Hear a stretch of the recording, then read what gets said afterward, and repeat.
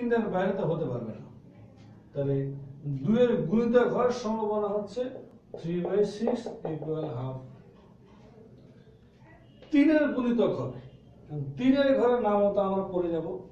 তিনের ঘরের নাম মতো যদি আমরা যেটা জানি, সেটা হচ্ছে হয় তিন আর ছয়। এর বাইরে তো আর নাই। তাহলে সঠিক উত্তর হবে two by six equal to one by three এরপরে আসি থ্রি অথবা থ্রির চেয়ে বড়। তাহলে থ্রিও হবে হলেও হবে, অথবা তার চেয়ে বড় হবে। তাহলে থ্রি হলেও হবে ফোর হলেও হবে ফাইভ হলেও হবে সিক্স হলেও হবে। আমার ফেভারে আছে হচ্ছে চারটা কেস তাহলে সুতরাং পরেরটা হচ্ছে থ্রি অথবা থ্রির চেয়ে যদি বড় বলে, তাহলে four by six equal to two by three four এর চেয়ে বড়। ফোর এর চেয়ে বড় আছে দুইটা। হয় সেটা ঘটবে ফাইভ অথবা সিক্স সুতরাং উত্তর হবে two by six equal to one by three প্রত্যেকটার ক্ষেত্রে আবার গতকালকের মতো নেগেটিভ কোশ্চেন আছে। নেগেটিভ কোশ্চেন হচ্ছে দুইয়ের গুণিতক না পাওয়ার সম্ভাবনা কত? তিন অথবা এর চেয়ে বড় না হওয়ার সম্ভাবনা কত? কালকেই বললাম।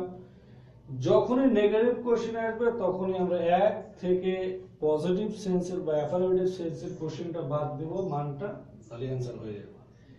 গুড এখন আমরা যে কাজটা করব, সেটা হচ্ছে একটি ছক্কা এবং একটা মুদ্রা একসাথে নিক্ষেপ করে দেখি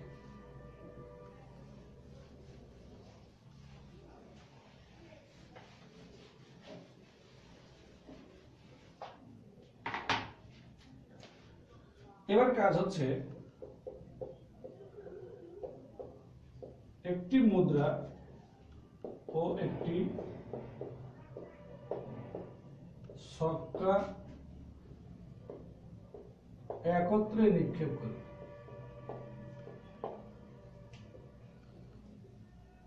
এটা এই হাতে মুদ্রাও নিক্ষেপ করব এই হাতে ছক্কাও নিক্ষেপ করব। কি জিজ্ঞেস করতে পারে? অনেকগুলা কোশ্চেন হতে পারে, অনেকগুলা। তো একটু খেয়াল করে দেখি, আমি জিজ্ঞেস করতে পারতাম যে হেড এবং ছয় উঠার সম্ভাবনা কত?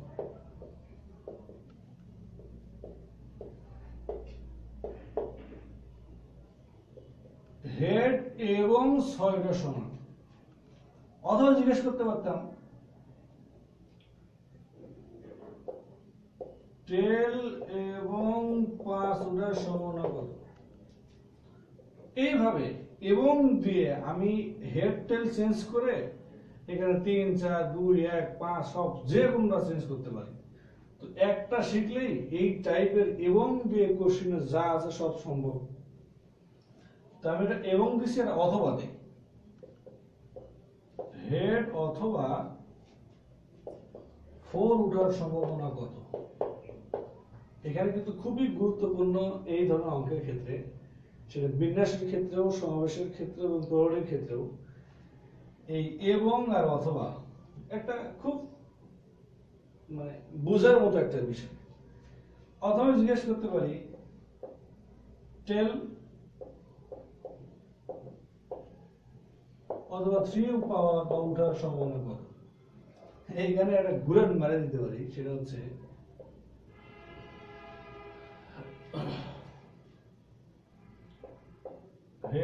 অথবা ফাইভ না ওঠার। হেড অথবা ফাইভ না। হ্যাঁ, এখানেই নেগেটিভ এটা তো নেগেটিভ সঙ্গে সঙ্গে আবার এখানে নেগেটিভ যে হেড অথবা ফাইভ না ওঠার সম্ভাবনা। এই ধরনের কোশ্চেনগুলো আমরা পেতে পারি। অ্যাকচুয়ালি আমরা যেটা জানি সেটা হচ্ছে যে দুইটা আলাদা ঘটনা। মুদ্রা এবং ছক্কা গতকালকে বলছিলাম পরস্পর বর্জনশীল। বর্জনশীল ঘটনা মানে এদের মধ্যে কোনো, এদের মধ্যে কোনো কমন ঘটনা নাই। যদি এরকম হয় দুটা ঘটনা এদের মধ্যে কোনো কমন ঘটনা নেই, তাহলে তাদের জন্য ম্যাথমেটিশিয়ানরা একটা সূত্র আবিষ্কার করে রাখছে। সেটা হচ্ছে, এই দুটো ঘটনা, দুটো আলাদা ঘটনা, সৎকার নিক্ষেপ করা, মুদ্রা নিক্ষেপ করা। এখন কেউ চাইতেছে যে মুদ্রাতে চাই হেড সক্কাতে চাই ছয়। এইভাবে আমার বাজি ধরে, জুয়া জেরে খেলে এরকম ভাবে যে উঠলে এত, না উঠলে নাই। কারণ ঘটনা হলো প্রথম চান্সে উঠতে পারে। এমনও হতে পারে যে কয়েক বছর পার হয়ে গেছে উঠে নেই। গেমটা হলো,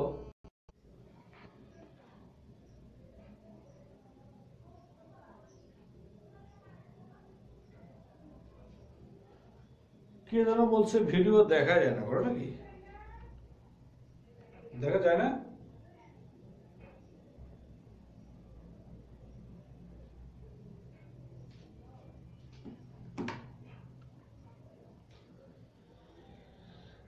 এবার আসি।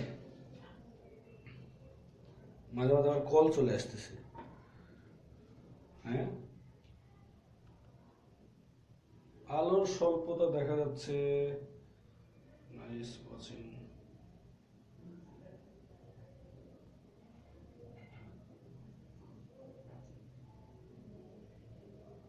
এখন ক্লিয়ার ও, আমি তো বুঝতে পারি নাই, আজকে আমার আজকে আমার বউ বাচ্চাকে নিয়ে ঘুমাইছে। আমি একা একাই অপারেট করছি, আবার একা একাই ক্লাস নিচ্ছি।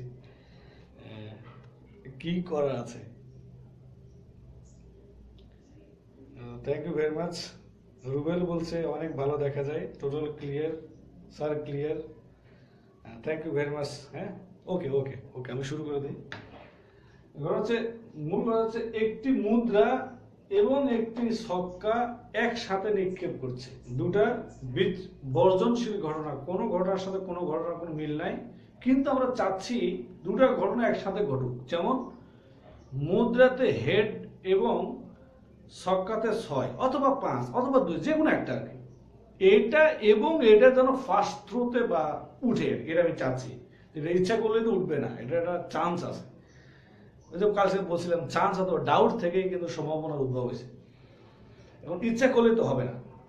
তো দুটা আলাদা ঘটনা ম্যাথমেটিশিয়ানরা বলছে দুইটা বর্জনশীল ঘটনা, যদি একসাথে ঘটানো ঘটতে চায়, তাহলে সেটা তারা যে রুলটা মেনটেন করবে, সেটা হচ্ছে এবং।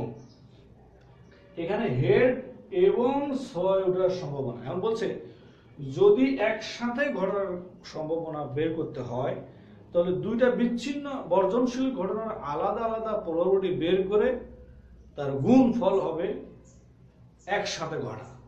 আর যদি বলে যে, না, দুটো একসাথে না ঘটলেও হবে যে কোনো একটা ঘটলেই হয়েছে, হয় হেড অথবা টেল, এই সিক্স যে কোনো একটা অন হয় টেল অথবা ফাইভ যে কোনো ওয়ান। তখন ম্যাথমেটিশিয়ানরা বলছে যে দুইটা বর্জনশীল ঘটনার যে কোনো একটি ঘটনা ঘটার যে সম্মিলিত সম্ভাবনা হবে, সেটা হচ্ছে দুটি বর্জনশীল ঘটনার আলাদা আলাদা প্রবাবিলিটি বের করে তার যোগফল হবে অ্যান্সার এবং বিন্যাস স্বভাবের সম্ভাবতা সবচেয়ে মনে রাখার মতো একটা ট্রিক হচ্ছে অথবা এবং এবং। আমরা মনে রাখব, যেখানে আমরা অথবা পাবো এর জন্য আমরা প্লাস ইউজ করব। আর যেখানে আমরা এবং পাবো সেখানের জন্য আমরা গুণ ইউজ করব। ভেরি ভেরি ইম্পর্টেন্ট এবং মনে রাখার মতো একটা টার্ম হ্যাঁ?